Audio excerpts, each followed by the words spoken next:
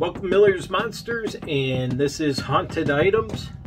Uh, we're going to talk about the Bassano vase, and uh, it's believed to originated from Napoli, Italy, and um, there's a lot of mystery behind this particular haunted item, and not a lot of information on the item itself, and I'll tell you more why uh, near the end of this segment, but uh, you know, it it came up a few times in in when I was researching most haunted items, and so I decided I'd talk about it. And uh, the earliest account of this vase is in the 15th century, and um, as with this, and something that has a lot of uncertainty, uncertainty, uncertain, uncertainty behind it. My goodness, um, stories vary.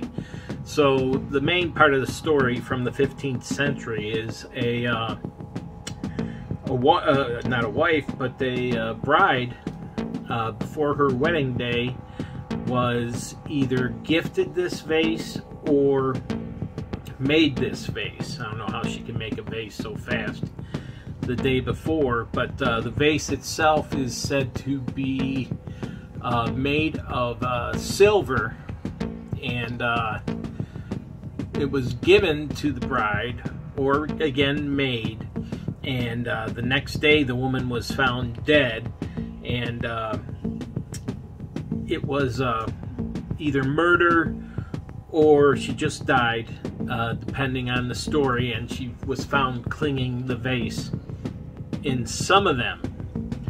So that's one unfortunate event. Well, of course, a family member took over ownership of that vase, and that family member also perished.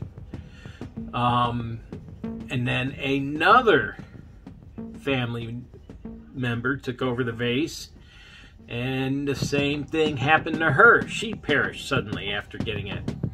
So, a third time, after someone received this, there was another quick death, and the family said, "We're done with this vase," and um, no one knows what happened to it. Uh, then uh, it disappeared for quite a while. Rumor is it was buried under a church uh, somewhere, so uh, you know it wouldn't be it wouldn't cause any more harm to anybody. Uh, but it did return. I believe the year was 1988 uh, where lost the magic wand there, uh, where uh, someone supposedly found it, dug it up, and sold it to a pharmacist. Well, guess what? The pharmacist died three months after he acquired the vase. Uh, the vase was then sold to a doctor.